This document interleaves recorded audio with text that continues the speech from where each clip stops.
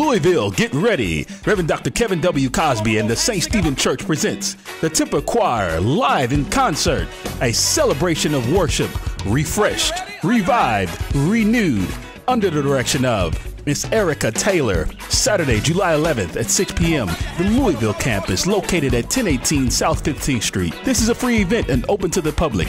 Doors will open at 5 p.m.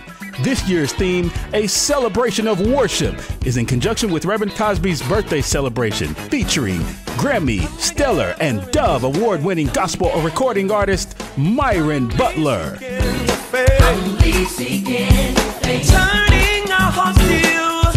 The St. Stephen Temple Choir in concert live Saturday, July 11th at 6 p.m. The Louisville campus. You don't want to miss this dynamic event and powerful praise party. See you there.